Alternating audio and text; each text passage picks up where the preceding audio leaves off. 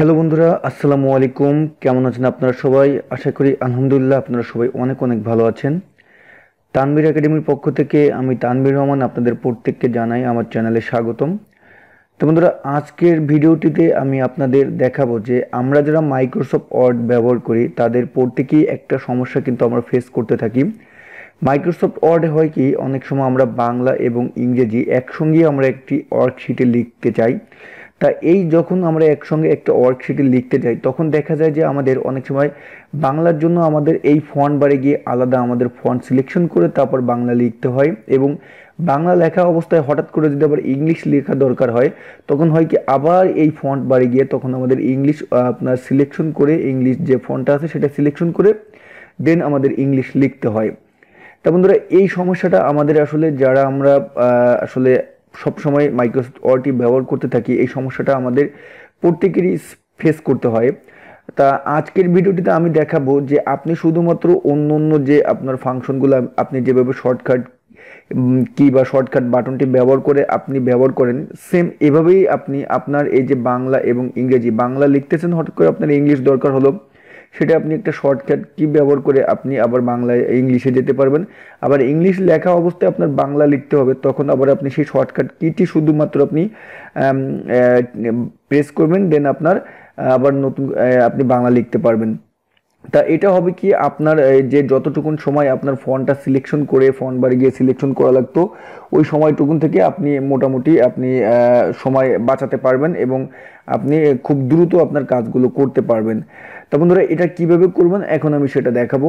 তা এক্সাম্পল হিসেবে একটু আমি আপনাদের দেখাই। সাপোজ ধরেন আমার এই ফন্ট বারে দেখেন এখন কি ফন্ট লেখা আছে, যে ক্যালিবেরিয়া বডি ফন্ট লেখা আছে। এখন আমি এটাকে ধরেন আমি এই মুহূর্তে আমি আমার ধরেন বাংলা লিখব। এখন বাংলা লিখতে হলে আমার কি দরকার ছিল? এখান থেকে গিয়ে দেন আমার ফন্ট সিলেকশন করে দেন আমার বাংলা লেখা লাগতো। তা দেখেন আমার কিন্তু ফন্ট বারে কিন্তু যে ফন্ট সেটাই আছে, এখন আমি বাংলা লিখব। বাংলা লেখার জন্য দেখেন আমি শুধুমাত্র একটা শর্টকাট কি ব্যবহার করলাম বাটনটা কি করলাম, দেখেন আমার বাংলা ফোনটা কিন্তু উপরে যে চলে আসলো সোথনি ইএমজি এখন আমি বাংলা লিখতেছি, দেখেন বাংলা আমি লিখতে পারতেছি, বাংলা আমার চলে আসলো।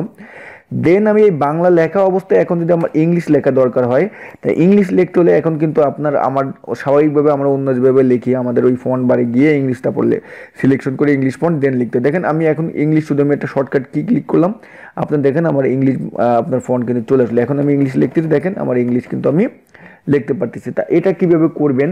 এই শর্টকাটকে ব্যবহার করে আপনি দ্রুত কীভাবে আপনার কাজটাকে আপনি আরও সহজ করে নেবেন মাইক্রোসফট ওয়ার্ডের কাজটাকে, সেটা এখন আমি আপনাদের দেখাবো। তা প্লিজ মূল ভিডিওতে চলে যাব। তা মূল ভিডিওতে চলে যাওয়ার আগে প্লিজ আপনাদের কাছে আমার একটা বিনত রিকোয়েস্ট থাকবে। যারা আমার এই চ্যানেলে নতুন প্লিজ আমার চ্যানেলটি বন্ধুরা সাবস্ক্রাইব করবেন এবং এই ভিডিওটি যদি বিন্দুমাত্র আপনাদের ভালো লেগে থাকে প্লিজ বন্ধুরা এই ভিডিওটিতে লাইক দেবেন এবং প্লিজ কমেন্টস করে জানাবেন এবং এই ভিডিওর ডিসক্রিপশন বক্সে আমি আমার আরেকটি ইউটিউব চ্যানেল আছে, সেই চ্যানেলটির লিঙ্ক দিয়ে দেবো, সেটা আপনারা ভিজিট করে আসবেন। সেখানে আমি টেকনোলজি নিয়ে অনেক সুন্দর সুন্দর ভিডিও আপলোড করে থাকি অ্যান্ড্রয়েড মোবাইলের টিপস অ্যান্ড ট্রিক্স আমি সেখানে শেয়ার করে থাকি, তো আপনারা সেই চ্যানেলটিও ঘুরে আসবেন। তা চলুন বন্ধুরা, আমরা দেখি যে আসলে আমরা কীভাবে বাংলা ইংরেজি একসঙ্গে লিখব এবং সেটা শর্টকাট কি ব্যবহার করে।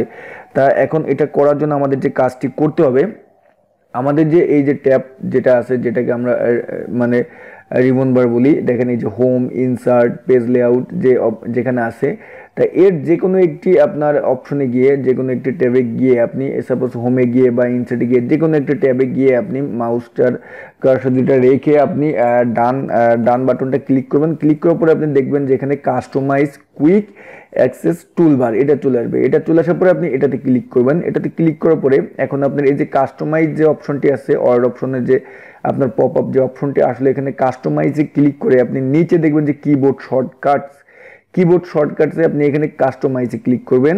কাস্টমাইজে ক্লিক করার পরে আরেকটি পপ আপ অপশন চলে আসবে দ্যাট ইজ কাস্টমাইজ কিবোর্ড এখন এই কাস্টমাইজ কিবোর্ড আসার পরে এখানে আপনি কিবোর্ডের কোয়ার্টার বাটনটি চেপে ধরে আপনি এপে ক্লিক করবেন।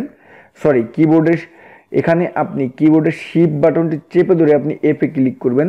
দেন আপনি দেখবেন যে ফন্ট নামে একটা অপশন আপনার সিলেকশন হয়ে যাবে।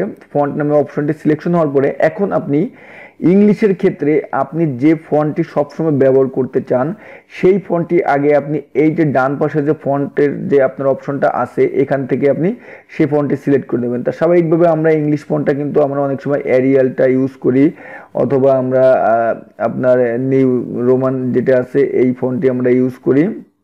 তাই এখান থেকে আপনার যে ইংলিশ ফন্টটি আপনি সব সময় ব্যবহার করতে আপনার ভালো লাগে সেই ইংলিশ ফন্টটি আপনি সিলেক্ট করে নেবেন। আমরা এরিয়াল ফন্টটা আমরা সিলেক্ট করে নিলাম। এরিয়ালটা সিলেক্ট করার পরে দেখেন এরিয়ালে ক্লিক করছি, আমার এফ সিক্স চলে যাচ্ছে কারণ আমার এটা আপনি শর্টকাট কি তৈরি করে রেখেছিলাম। তা আমি এরিয়ালের বদলে ধরেন আমি এরিয়াল ব্ল্যাকটা ব্ল্যাকটায় আমি এরিয়াল ন্যারোতে আমি একটা শর্টকাট এখান থেকে আপনি যে ফন্টে সিলেক্ট করবেন, সেই ফন্টটিরই আপনি একটা শর্টকাট কি আপনি তৈরি করতে পারবেন। তা আমি এরিয়াল ন্যারোর আপনি আমি এই ফোনটার আমি একটা শর্টকাট কি তৈরি করব।